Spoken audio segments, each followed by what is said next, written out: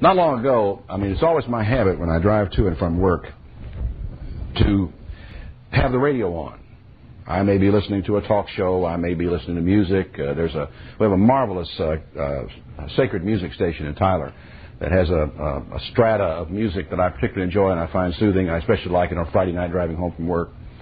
But one day, a couple of weeks or several days ago, for some reason I I was aggravated annoyed, uh, agitated, and uh, I decided I did not need any more noise in the car, so I shut the radio off. And uh, as I was driving home from work, and I forgot the next morning to turn it back on, and actually for several days I did not turn the radio on. And I made a discovery during that time, and it was a it's a strange discovery. It's one I want to share with you, lest, just in case it has some relevance to you.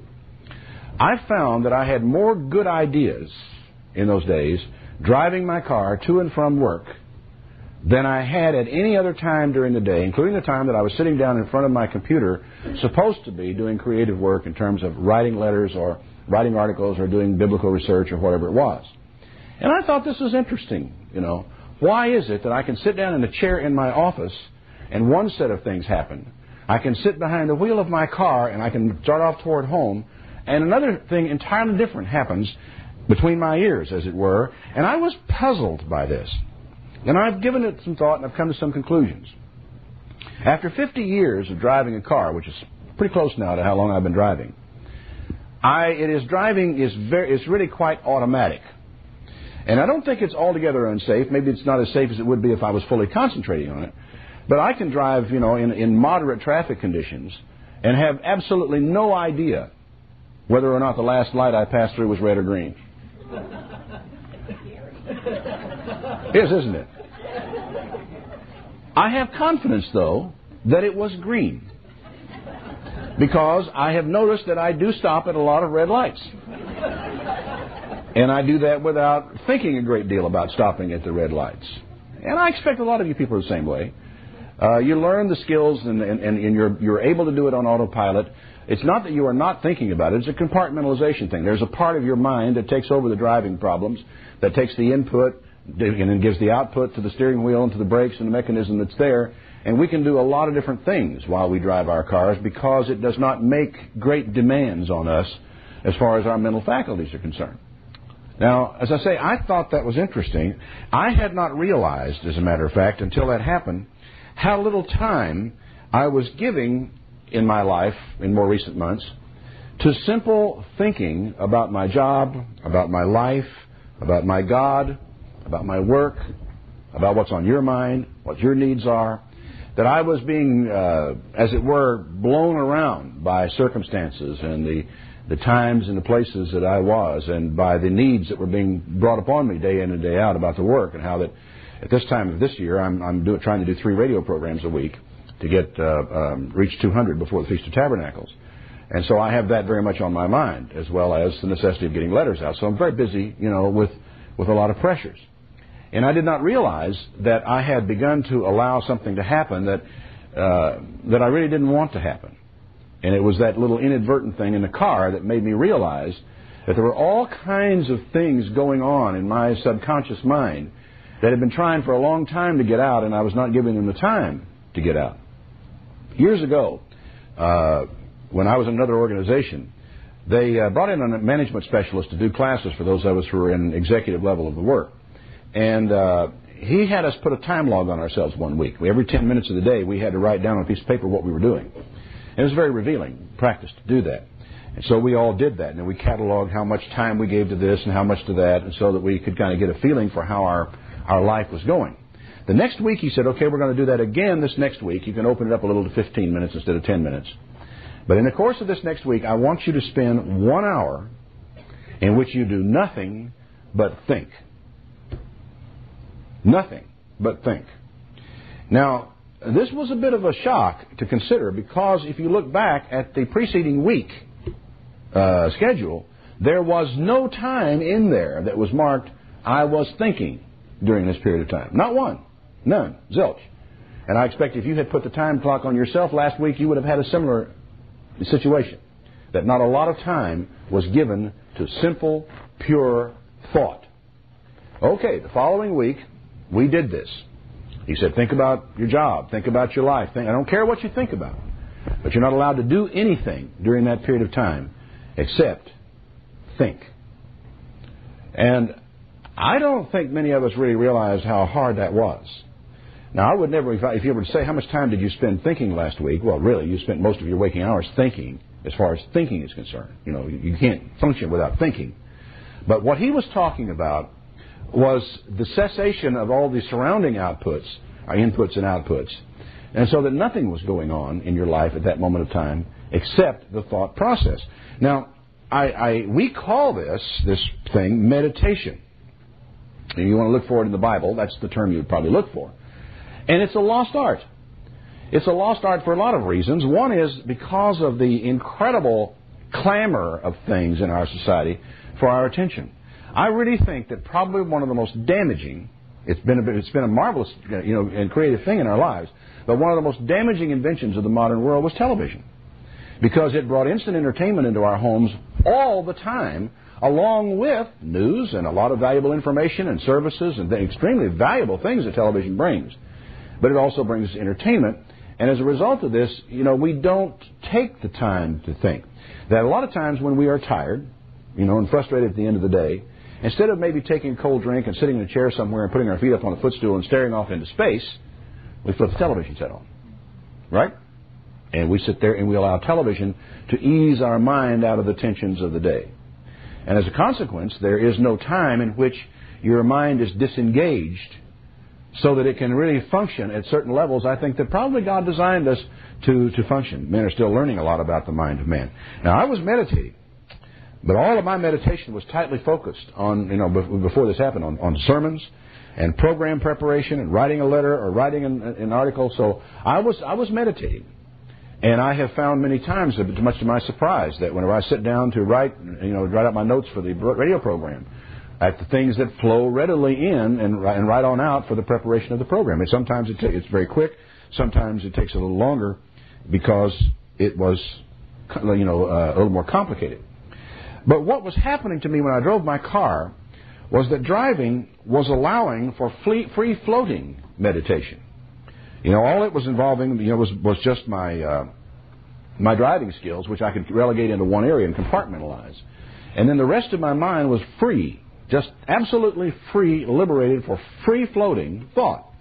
Now, I think that this is far more important than we realize. Uh, and I don't know, I'm not a psychologist, and I really don't want to uh, uh, imply that I am. And I'm only talking in many terms about my experiences and a few things that I have picked up from time to time from psychologists and what have you.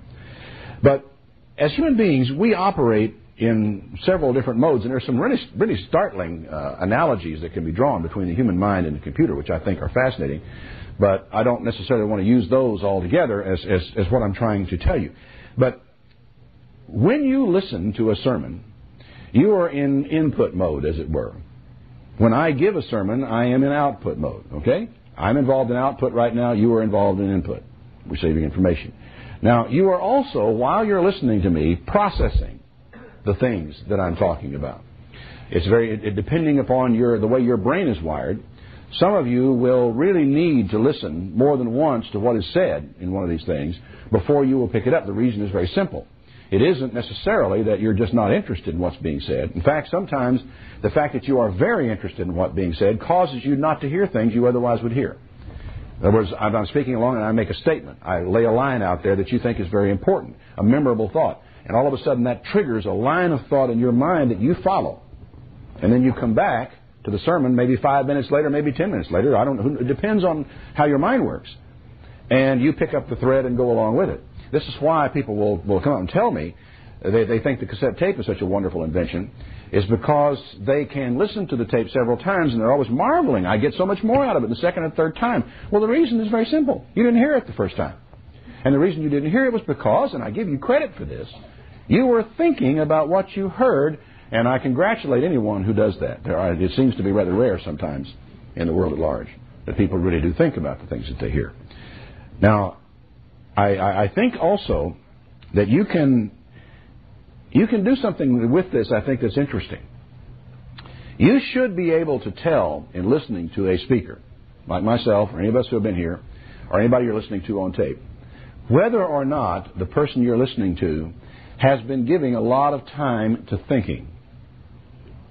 Some preachers that I have heard, I am convinced, have not had an original thought in 30 years. Now, the reason I say that is because I can come back to them and listen to them on tape speaking today, and I used to, I'd heard them years ago, and I am hearing the same analogies, I'm hearing the same explanations, I am hearing the same illustrations, I'm hearing the same jokes, and there are people who are polite enough to chuckle at them. Uh, I'm hearing so much of the same. We, we jokingly refer to this as playing the old tapes. And uh, it's not exactly a tape because our brain is far more advanced than tape. We store this stuff digitally. And so preachers then will preach oftentimes the same sermon over and over again. Uh, John Robinson, who is the editor of, the, of In Transition, which has now gone the way where all good newspapers go, uh, he uh, he made a statement once. He said most ministers, he said, have four or a maximum of five sermons, and they deliver the same five sermons over and over and over again. Now, what's interesting about that is that the reason why you don't always tumble to it is because you didn't hear it the first time. You know, you weren't listening, or you weren't paying attention, or you didn't really realize what he'd said. But the careful, careful listener, the careful analyst will say, yeah, what he has done here, he's changed the order of the scriptures. He's moved this story from this sermon over to this sermon. He's adapted this idea from this one over here back into this one. But a careful study will do this, and it's rather interesting if you ever sit down listening to speakers and you have a lot of their tapes and you're going to catalog them, and you start trying to catalog the tapes. That's when you begin to realize what's going on. That the topics and the subjects get repeated over and over and over again. Now, the only way that I know of in which that pattern can be broken is sooner or later a man has got to think. And when I say think, I mean he has got to have somewhere in his life the time for the free floating thinking that goes on. Now, the mind seems to require input and output and processing time. And our processing seems to go on at more than one level. We do a lot of information processing at the conscious level. We think it through. A lot of information processing goes on at the subconscious level while we're awake. And we store all this stuff that comes in and we put it in different places in our mind and sometimes we can never find it again. That's what some of you have trouble with. Uh, even though you've got it, you heard it, you put it somewhere and you don't know where you put it. All this stuff goes in and we, we, we process some of it at the conscious level, some of it at the unconscious level while we're awake. And a surprising amount of work goes on when you are asleep in the processing of information. I went to a seminar years ago, or a workshop, where a psychologist uh, gave a presentation in which he likened the mind to a closet that is never cleaned out. And he made a statement which I thought was startling at the time, but the more I thought about it, the more, the more I, I, I could understand what he said. He said, Everything that goes into your mind stays there forever, it never leaves. It is like a closet never cleaned out. So that what goes on at the subconscious level, and what goes on when you're asleep, a lot of times, is the, the sorting, analyzing, connecting, trying to make connections where connections won't work uh, in, in your subconscious mind so that you have, have got something in, form, in the form of data in there that you can work with. Now, a lot of people will tell you that the intuitive feelings that we often have are not just hunches. They are the experience and the wisdom that has gotten buried away in the back of our minds that we have not necessarily consciously accessed, but that we do subconsciously access. And the reason we don't feel right about something is because our experience, our knowledge, uh, all the things that we've been through, the revelation we may have even from the Bible, all these things work together to give us a feeling, for want of a better term, that this is not right. And if you ask the person to articulate why it's not right, they could not tell you. They just say, I don't feel good about it. And they tell us that you're really, in most cases, fairly wise to listen to those intuitions because they are the, the hidden wisdom of your own mind that you have accumulated over time. They can lead you astray. I have no, no doubt whatsoever that that could be true. But I really think that, that, that that's important. An incredible amount of processing goes on in the subconscious mind. And for many of us, I'm afraid, and, and I'm afraid I, I can say for myself at certain times in my life, that's really where almost all the creative activity has taken place. It has all gone on in the subconscious and never has really quite made it back to the conscious mind. And what I began to realize in my own case, again, I can't speak for everybody, that what meditation does is to allow that creativity to move into the conscious mind. that I have found that if I can stop the inputs and the outputs, or if I can package them up in one corner while I'm driving a car so that I don't have to do anything else with them, and allow my mind to run, I can do some directing of my thoughts, which all of us do from time to time. And you can make choices when you are in meditation as to which direction you want your thoughts to go. And I think oftentimes what meditation is, is directed thinking. But at that time, when you are relaxed, when your mind is free, when your mind can roam, you can begin to allow things to come into the conscious mind that you have stored away many, uh, many years ago sometimes, and they come to light in new ways. You know, we do create knowledge for ourselves or information. We can actually synthesize knowledge. If, for example, we have a group of people over here that, that all of you know because you have got it by empirical uh, investigation result that A equals B, and you know that. This group over here, by empirical research, experience, or whatever, are absolutely certain that B is equal to C, and they know that. They don't know what you know, and you don't know what they know. But I know what you know, and I know what they know. I know that A equals B. I know that B equals C. Therefore, I can make a simple synthesis and say, therefore, A equals C. I know that. You don't know it, and they don't know it. But I have both pieces of information, which allows me access to a third. Now, that's a terribly, terribly simple illustration of an extremely complicated process by which you and I oftentimes arrive at conclusions which are pretty good conclusions because they are based upon the synthesis of things that we know to be true. And if both of these things are true, then a third thing must also be true. And we do this fairly naturally. People have studied it, people have analyzed it, people have tried to teach it, and uh, it can be taught at certain levels in college, university. There's, you know, logic and, and reasoning of this sort is taught. But it's a valuable thing. But the truth is that it also takes place without being taught. It is something I think that is, is important to all of us so, and, and, and in that, that sense. Uh, in the Old Testament, we find the word meditation primarily in the Psalms. Uh, I, I, suppose we would find the idea of, of, meditation, in fact, I'm quite sure we do, in other places. Uh, the problem we have sometimes is with Hebrew and with the words and, and so forth that people use, and so we don't always have a good feeling for, for it. But primarily in the Psalms, uh, we, we find this idea of meditation or thought as it is. I thought one of the things I thought was interesting about this is that the Hebrew expression that is oftentimes uh, uh, translated as meditation uh, is the murmuring of the heart. For one thing, you know, you can mutter with your lips, you can talk with your lips, but there is a murmuring of the heart. It's quiet voices. It's the, the inner man speaking, as it were, and sometimes speaking to ourselves and sometimes speaking to God which actually constitutes meditation. Now, I want to take you uh, for just a little bit today to the 119th Psalm, which is one of the core places where this subject is discussed. My objective in this sermon today is to encourage you to make meditation a part of your life.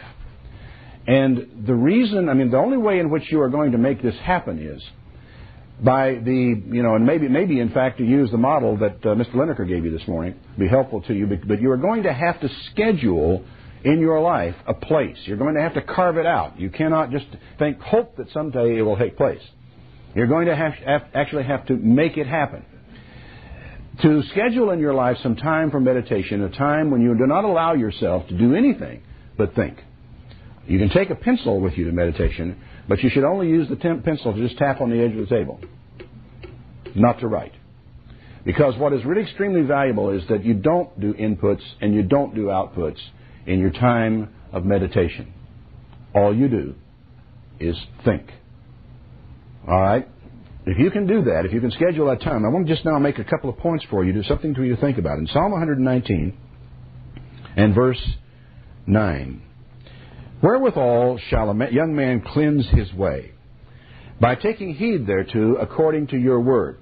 Now, there are a lot of bad habits in our life, a lot of things that we would like to be rid of, and I think what I love about the psalmist is what a young man wants to clean up his life, wants to get his act together, wants to clean himself up. How does he do it? Well, he does it by starting to take heed to his life in conjunction with your word. There was a matching up of these things. Now, my question is this How are you going to do this unless you have had the input, and you have actually taken in God's Word in the first place, and then taken the time to pay a little attention to your life. To me, the taking heed to yourself and to your ways in your life requires thought. Deliberate, premeditated, intentional thought, right? And I sit down and I think about my life in the light of God's Word. Listen as he continues. With my whole heart have I sought you. Oh, let me not wander from your commandments. Your word have I hid in my heart that I might not sin against you. Now, there's something that's a lost art very much in our society today, and I'm really, in many ways, I regret it. I think that all of you should give serious thought to this, though, regarding children. We have really lost the skills, it seems, in the modern world of memorization. Prior to the invention of printing, memorizing a biblical text, memorizing of literature and so forth was very much a part of everybody's life. You know, I was thinking about this the other day, and I realized I think I will have to learn to memorize all over again. I'm not sure I still know how. I had to in high school. I had to memorize Mark Antony's speech. You know, I had to be able to recite Mark Antony's speech for an English literature class in, in high school. And I'm trying to think of the last thing I had to memorize so that I could get it absolutely correct when it came back. And I was so struck not long ago, I mean, some time ago, I read an article about the survival of the Lutheran Church, and I believe it was in Soviet Union, or it may have been the Polish Lutheran Church, but I think it was the Soviet in the Soviet Union that whenever there was a deliberate effort by the Soviet Union to stamp out Christianity and to stamp out the Lutheran Church, they arrested all their pastors. They, they either had they either killed them or carried them off to work camps off in the east. And then they be, and then they took their men away from them, left nothing but the Lutheran women and children behind. And they took away their Bibles. And the story was really fascinating because what the, the Lutheran women, because of their memorized scriptures, got together and because and, and took the scriptures that they had memorized and wrote them down again and preserved the Bible out of their own memory. They taught their children the Bible. They taught their children to memorize the Scriptures. And those women preserved the Lutheran faith through that whole time so that whenever the Soviet Union began to became unstuck and it became able to be Christian and to be openly Christian again in Soviet Union, the Lutheran Church was still there. And it survived. And the memorization of Scriptures was a very important part of what they did. Well, this young man says, I, I have hid your word in my heart, which tells me that he spent a great deal of time in memorization of the Scriptures. He then says, Blessed are you, O Lord, teach me your statutes. With my lips I have declared all the judgments of your mouth. Now we go to the second stage, and this important stage of memorization and locking it in is recitation. He memorized it, he recited it, he recited it, he recited it. And the recitation of these things is an important part of what goes on in the process of locking them into this closet that you never clean out. What it does, it establishes these things in prominent locations that you can access. Whereas so much of the stuff that's in your closet, as I said before, you don't have a clue where it is and couldn't find it if you wanted to. I have rejoiced in the way of your testimonies as much as in all riches. I will meditate in your precepts and I will have respect unto your ways. I will delight myself in your statutes. I will not forget your word. I think that is lost to us because we now rely so heavily on our Bibles. And but because it's on the page instead of being in your heart, you can never really go completely into that no input, no output mode and just process the stuff that is inside of you. Now you can to a degree, but because you don't have those scriptures in your memory, you are not able to work your way through certain ideas, thoughts, and so forth as, as thoroughly as David might have done, or a Hebrew child might have done, who probably in many cases could have, could have recited many of these psalms with no difficulty, and in fact probably have sung them to a tune that they already knew. Music, by the way, is a great aid to memorization. It's one of the reasons why we can often remember hymns when we can't remember poems, is because we remember the tune and it helps, it helps us to to bring it all back. So here's a, here's a person who made a habit of his life the input, the memorization of scriptures, the output, the recitation of scriptures, and then the processing of God's statutes, His judgments, His laws in his mind and in his heart, which went on day and night when he was sleeping, when he was waking. You know, you wonder sometimes about what goes on in your mind when you sleep and some of the strangest things that, that take place and the strange relationships between people and times and places and the timelessness of it. And I visualize it almost like a, a hard disk on a computer where stuff is stored all over the place, oftentimes with no connection, no, no connections, with no idea of how it relates to anything else. And then what you're seeing almost in your, in your mind's eye as you dream in your sleep is the cursor, not, or the, the, the little search item running across that, that memory, picking off things and looking inside cupboards and so forth in your mind, taking note of what is there and where it is and whether it's important to you or not, whether it's not important to you or not, and it begins to weigh all that stuff and make connections. And really, I think sometimes probably buries away things that it knows you don't want coming back up very often. All that goes on while we're asleep. You think there's nothing happening, and your brain is doing some of the most important work of the day. Well, the guy who has memorized scriptures, put them away in his mind, and spent a lot of time thinking about them, has given his brain something else to work with while he's asleep that maybe it otherwise might not have. And as a consequence of that, when he faces decisions the following day, the following week, the next year, the next month, he will have material to work with because the Bible, I mean, his brain will have taken the scriptures, which he has told his mind is very important. And his mind will take those scriptures and it will create relationships between the scriptures that he knows that are very important and certain events in his life that aren't very important and will begin to sort out why he should give attention to some things and not to others. And then comes the very important time when he chills out, takes his time, goes off and finds a rock somewhere on a hillside, stares into space, and allows to come back into his mind those things which the subconscious has been working on all along. Now, I also believe that what happens at that time is that these are the times when God is able to speak to us. I don't think we hear his voice. I don't think God necessarily speaks that way to us. And I think that we should treat very carefully the impressions and the ideas that come into our mind. I think to be to say, well, I think God put that idea in my mind may be a little bit you have to be careful about that. That has to be tested. Because, in fact, so many things are going to come rolling into your mind, many of which are indirectly from God. The reason they are, have come to your mind from God is because the Scripture went into your mind. Your mind processed the Scripture, and when the time was necessary, the, the Scripture worked with your, your experiences, your other knowledge, and presented you with a solution to a problem that you had been facing all along. The Spirit of God do that? Perhaps. If the Holy Spirit is a part of that process in your mind and your heart. It's something over which you have very little control. But you know, you do have a lot of control over the inputs to your mind. You have a lot of control over that. And you can make decisions to put things in there that otherwise will not be there. You can make decisions to not allow things in there that ought not to be there. And I think we need to be doing more of that than we're doing with some of the television stuff and movies that are out there nowadays. You can make decisions about all kinds of those things. But you know, the rest of it, the actual processing of it, is something you can't do much with until you have the quiet time. If you don't have a quiet time in your life when you can consciously address the things that have been going on in your mind, your subconscious, whatever you want to call that part of your mind that you're, that's processing information that you're not aware of. You don't have the time to sit down and consciously allow it to come to mind. You just will not take the final steps in the organization of your thoughts, the ordering of your mind, and give yourself the opportunity for the truly creative part of your life. You're just not going to know God either as well as you can if you can allow that type of thing to take place. Now, there are so many things that time would never permit me. I'm just going to give you a couple more things out of the 119th Psalm to think about in this regard. The uh, 119th Psalm, verse 22. He said, Remove from me reproach and contempt, for I have kept your testimonies. Princes did sit and speak against me, but I meditated in your statutes. The fact that somebody doesn't like what I'm doing or disapproves of me is one thing, but I'm still thinking about your, your statutes. Your testimonies are my delight and my counselors.